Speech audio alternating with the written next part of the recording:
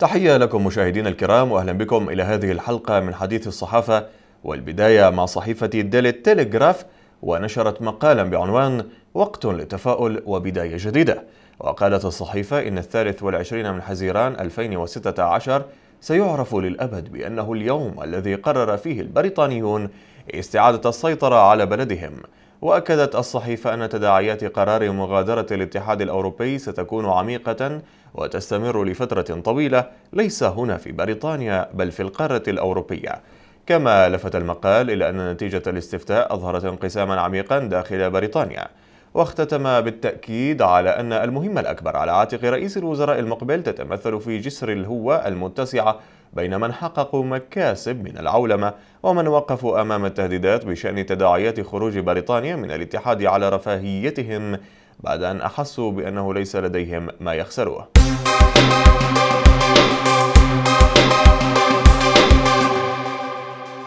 وبالانتقال مشاهدينا الكرام إلى صحيفة لوس أنجلوس تايمز نقرأ مقالا لجيمس جيرتشيك بعنوان الحرب على داعش باقية لأجيال حيث انتقد الكاتب سياسات الرئيس الأمريكي إزاء الشرق الأوسط وخاصة في أعقاب انسحابه وبقائه صامتا إزاء وعدم استخدامه مفردة الإسلام المتطرف في خطاباته.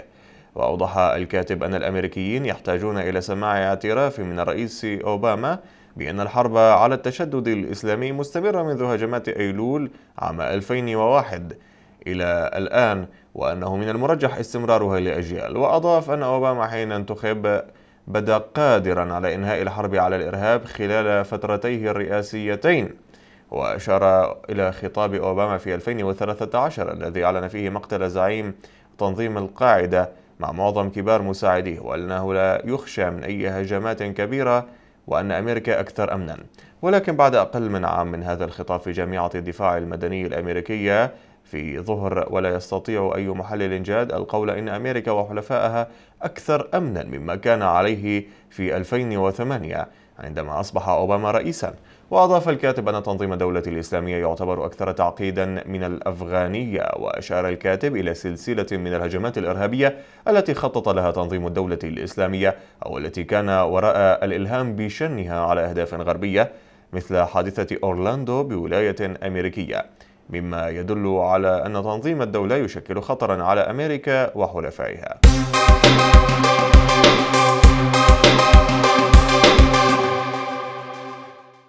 وبالانتقال مشاهدينا الكرام إلى صحيفة نشفق التركية. نقرأ مقالا لياسين أقطاي بعنوان كيف يكافحون الإرهاب دون أن يقوموا بتسميته؟ أشار فيه الكاتب بأن بعض وسائل الإعلام الغربي ما تزال تريد وبإصرار اعتبار صراع تركيا مع الإرهاب على أنه حرب تركيا ضد الأكراد. وهكذا يكون هذا مخرجا ومهربا لهم حتى لا يقولوا إن ما يحصل في تركيا هو إرهاب عليها. وفي الحقيقة إن العائق الأكبر أمام مكافحة تركيا للإرهاب وصراعها معه هو هذا الأمر. الإرهاب الوحيد الذي يعاديه الاتحاد الأوروبي والولايات المتحدة هو إرهاب منظمة داعش فقط وخارج هذا فالمنظمات الإرهابية الأخرى التي لم تتعدى عليهما لا تعد إرهابية. كما أن الاتحاد الأوروبي الذي يغير قوانين محاربة الإرهاب لمجرد استشعار احتمالية وجود خطر إرهابي يفرض على تركيا أن تغير تعريفها عن الإرهاب كشرط أساسي لقبولها في الاتحاد الأوروبي وإعطائها الحقوق فيه. وهذا الشرط لا يختلف في معناه عن قولهم لتركيا بأن تتخلى عن رؤية حزب العمال الكردستاني كمنظمة إرهابية. ولو أن واحدا بالألف من الأحداث والهجمات الإرهابية التي تحصل في تركيا حصلت في أي من مدن أوروبا على يد منظمة إرهابية فهل تتصورون أن الاتحاد الأوروبي كان ليشترط هذا الشرط على هذه المدن وهذه الدول؟ طبعا لا إذا فلماذا وبأي وجهة وجه يقابل الاتحاد الأوروبي تركيا بهذا الطلب وكيف يطلبه أصلاً؟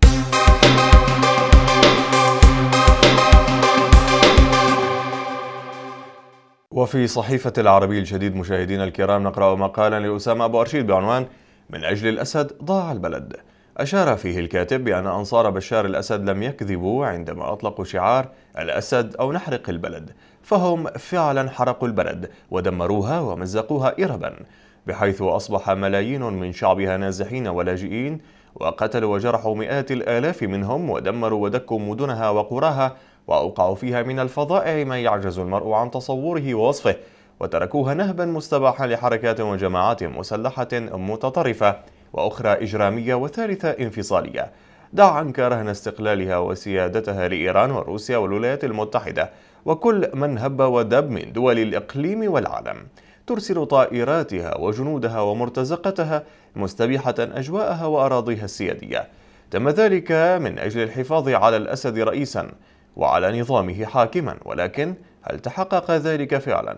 لم يكتفي النظام السوري بحرق البلد من أجل الأسد بل إنه وضع كل سوريا تحت وصاية روسية إيرانية انتهى فيها من حرقة البلد من أجله ليس أكثر من خادم مطيع لا يملك خيارات ولا كرامة ولا استقلال فهو أضعف وأتفه من أن يجلس ندا في حضرة الكبار حتى أمام قادة حزب الله الذين أوكل إليهم في مناطق كثيرة قيادة وحدات عسكرية سورية وتوجيهها.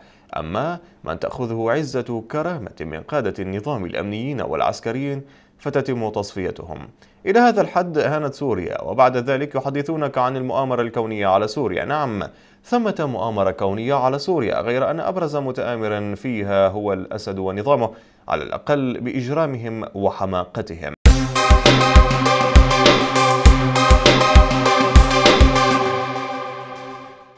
وختام حلقة اليوم مع جريدة حبر ومقال بعنوان حلب البوابة المغلقة حيث أشارت الصحيفة بأن صمود حلب وعدم سقوطها في يد الفرنجة رغم حصارهم المديد لها عام 1124 ميلادي نقطة تحول هامة في تاريخ العالم لأنها حالت دون تشتت الشرق ليصبح إمارة لاتينية حسب ما قال المستشرق البريطاني أرلاند توينبي وتضيف الجريدة. ربما يكرر التاريخ نفسه اليوم فصمود حلب اليوم في وجه غزاتها يحول دون أن يتحول الشرق العربي على الأقل إلى ولاية إيرانية. بينما تلتهي تركيا بحروبها الداخلية ومواجهات لا تنتهي مع الانفصاليين الكرد ويعاني الخليج من اقتتالات طائفية وجماعات متطرفة. وتصبح مصر بوابة جديدة لاستعمار أوروبي أمريكي لإفريقيا وعهد فاطمي جديد يتسم بمزيد من الغدر والخيانة والجريمة. الحرب التي يسعى العالم اليوم لحسمها في حلب من شأنها أن ترسم مستقبل العالم في الفترة القادمة وهي لم تعد معركة اعتيادية تحتمل الفوز أو الخسارة. لقد أثقلتها الحمولة المعنوية والاستراتيجية في أفئدة المتحاربين حتى صارت تعني نصرا كاملا أو هزيمة كاملة. لا يريد أحد أن يحارب بعد حلب فسقوطها سيسقط سيسقط كل آمال الفريق المنهزم والتسوية السياسية. أمر يصبح مرضيا للجميع على أسوار المدينة المحترقة.